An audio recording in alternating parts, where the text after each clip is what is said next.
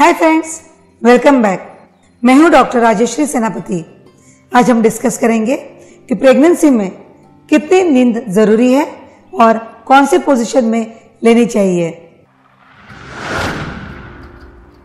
Usually pregnancy में patient की नींद बहुत डिस्टर्ब होती है क्योंकि पेशेंट में शारीरिक बदलाव आते हैं हार्मोनल बदलाव आते हैं।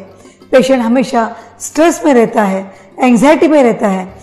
कि डिलीवरी कैसे होगी, बच्चा कैसे रहेगा, उसमें फैमिली प्रेशर होता है, फाइनेंशियल प्रेशर होता है, इस सब वजह से पेशेंट की नींद बहुत डिस्टर्ब होती है, पेशेंट को नींद नहीं आती। पेशेंट के लिए कम से कम सात या आठ घंटा रात में सोना ज़रूरी है और दोपहर को एटलीस्ट एक या दो घंटा रेस्ट लेना ज़रूरी है। जल्दी नींद आने के लिए हमेशा हमें जल्दी उठना चाहिए।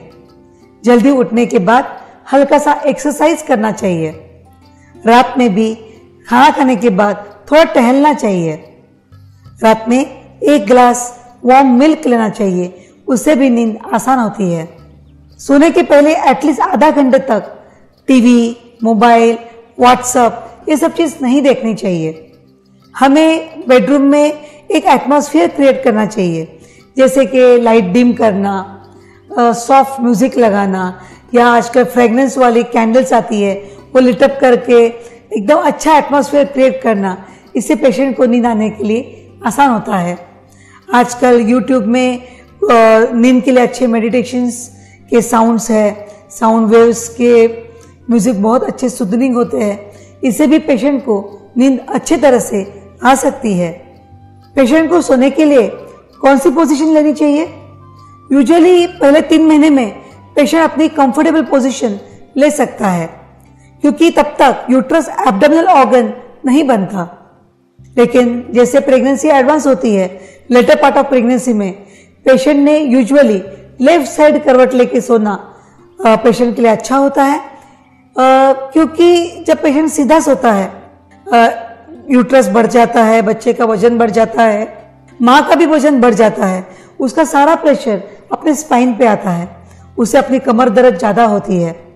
दूसरा पॉइंट ऐसा है कि अपनी जो ब्लड वेसल होती है, उसके ऊपर भी बच्चे का और यूट्रस का वज़न गिरकर माँ का ब्लड प्रेशर बढ़ सकता है और बच्चे को ब्लड सप्लाई कम हो सकता है। तब इस वक्त पेशेंट यदि लेफ़्ट करवट लेता है तो स्पाइन का और अपने मेजर ब्लड वेसल्स का प्रेशर उठ जाता है। बच्चे को ब्लड सप्लाई अच्छा होता है, बच्चे को ऑक्सीजन सप्लाई ज़्यादा होता है, माँ को पेट दर्द या कमर दर्द कम होती है तो ये सबसे बेस्ट पोजीशन माँ के लिए है। लेफ़्ट साइड करवट लेके सोना या लेफ़्ट लैटरल पोजीशन जैसे प्रेगनेंसी आखिरी नौ महीने में जाती है, या पेशेंट ट्विंस प्रेगनेंसी होती है, या हाइड्रामनियास मतलब यूट्रस के अंदर पानी ज़्यादा होना यूट्रस बहुत डिस्टेंट होना, पेट बहुत बढ़ जाना, ऐसे कंडीशन जब माँ को होती है, तब माँ ना सीधे तरह से सो सकती है, ना लेफ़्ट लैटरल पोजीशन में सो सकती है। इस वक्त पेशेंट ने प्रॉप्टअप पोजीशन लेना चाहिए। मतलब थोड़ा हेड रेस्ट होके सोना चाहिए। बैक में पिलो लेके सपोर्ट देना चाहिए। इससे पेशेंट को ब्रीदिंग के लिए आसान होगा और पेशेंट कंफर्टेबल महसूस कर सकता है। कभी कभी पेशेंट को पैर में स्वेलिंग होती है, जैसे पेशेंट में प्रोटीन की मात्रा कम हो खून की मात्रा कम हो या पेशेंट का ब्लड प्रेशर बढ़ता है या नॉर्मल प्रेगनेंसी में भी कभी कभी पैर में स्वेलिंग होती है और पैर भी दर्द होता है। इस वक्त पैर को हल्का मसाज करना चाहिए।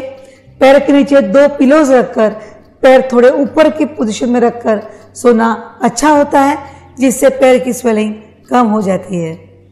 आप याद रखिए, आपको नींद के लिए बहुत ख्याल रखना है, क्योंकि डॉक्टर आपको नींद के लिए कोई भी मेडिसिन या पिल नहीं देगा, क्योंकि वो बच्चे के लिए बहुत हार्मफुल है।